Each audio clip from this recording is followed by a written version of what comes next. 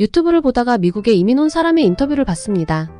미국 이민을 후회하는 분의 이야기에 달린 댓글입니다. 공감 가는 내용이 있어 소개합니다. 미국에서 대학 졸업하고 7년째 살고 있지만 역이민을 진지하게 고려 중.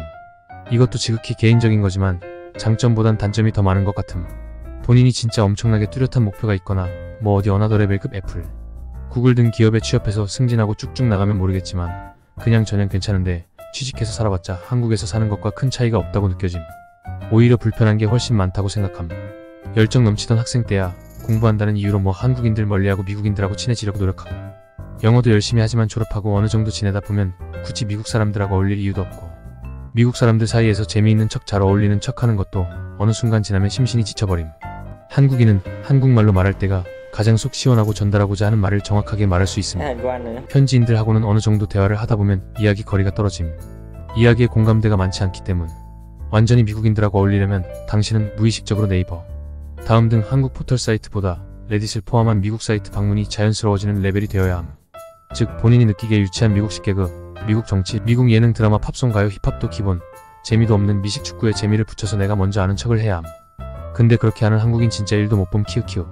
한 가지 경험담인데 본인은 현지 회사 동료들이 어떤 노래를 듣느냐고 하길래 난 한국 사람이라서 케이팝 듣는다고 하니까 거기서 대화가 끊김. 걔들은 거기에 관심이 없기 때문. 케이팝의 글로벌화로 여자들은 좀 어떨지 몰라도 남자들은 케이팝 듣는다고 하면 걔들이라고 생각하는 게 현실임. 난 개인적으로 미국 가요 별로 안 좋아함. 안 좋아하는 걸 어떻게 억지로 끼워 맞추겠음? 이렇게 얘기하면 그 대신 한국에선 윗사람 눈치 봐야 하고 한국 특유의 조직 문화 어쩌고 운운하시는 분들 많이 봤는데 외국인들 앞에선 두 얼굴의 가면을 쓰고 미국에서 맞지도 않는 문화에 억지로 끼워 맞추는 것 보다 차라리 한국에 나랑 맞는 기업과 사내 문화가 어우러져 있는 곳을 찾는 게 더 나을 것 같음. 참고로 본인은 한국 회사에서도 2년 정도 막내로 일해본 경험이 있음. 추가로 현지에선 영어 실력에도 한계가 옴. 진짜 특출난 사람이 아니고서야 결국 현지인 영어 실력을 뛰어넘을 수 없고 미국 기업에서도 유색인종 영어의 한계라는 것 때문에 사실상 유리천장이 존재함.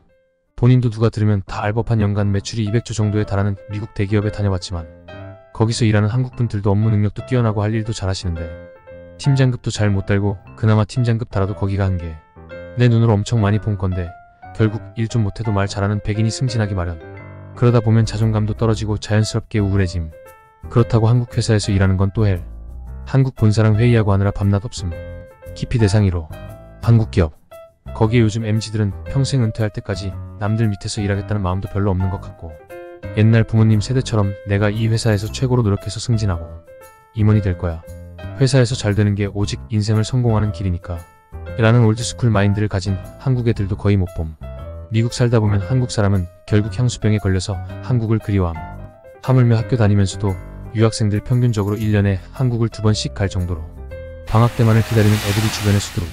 학생 때처럼 굳이 미국인들하고 불편하게 어울릴 이유가 없어지니 한국 젊은 직장인들은 맨날 한국 사람들끼리 놀고 종교에 관심도 없으면서 한국 교회 다니고 한국말로 대화하고 한국 음식 찾아다니고 한국 문화 컨텐츠 즐기고 뉴스 유튜브 스트리밍 전부 한국 거 보면서 웃고 떠듦.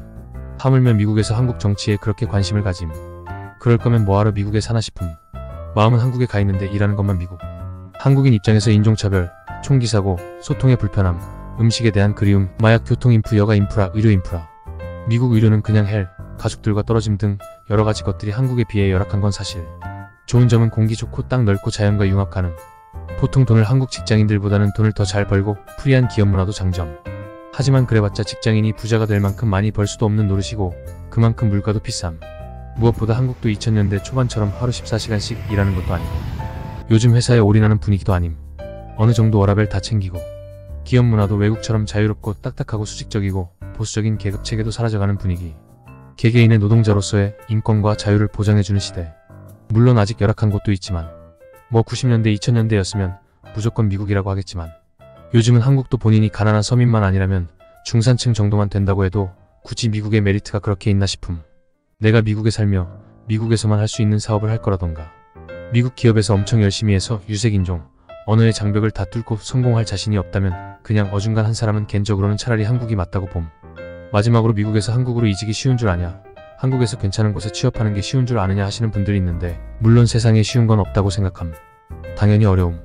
하지만 의지가 있으면 본인이 노력하면 되는 거고 더군다나 미국에서 일한 경력이 있는 본인 같은 젊은 층들은 충분히 경력 있는 대기업, 신입이나 수시 채용 등 지원해서 갈만하다고 봄. 문과 계열이라면 좀 더 어려울 수도 있지만 나는 반도체 관련 엔지니어인데 자격 요건에 충족하는 국내자 포스팅들이 수시로 올라옴. 끝으로 이 모든 부분에서 간과한 게 있는데 결혼해서 자녀가 있다면 얘기가 다를 수 있음. 많은 분들이 애 낳아봐라. 애 키우기엔 한국은 지옥이다.